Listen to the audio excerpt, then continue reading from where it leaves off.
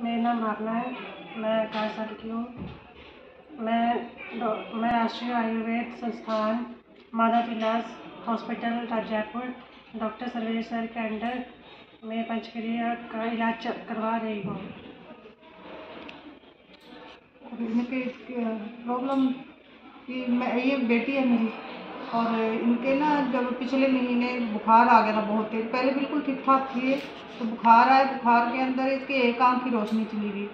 तो काफ़ी दिन दिखाए इधर उधर डॉक्टरों को भी, किसी को पता नहीं एमआरआई से पता लगा भी ब्रेन ट्यूमर है। और अब फिर इधर लेके दूसरे डॉक्टरों के पास लेके गए तो उधर डॉक्टर बोल रहे थे कि इसके तो ऑपरेशन होएगा।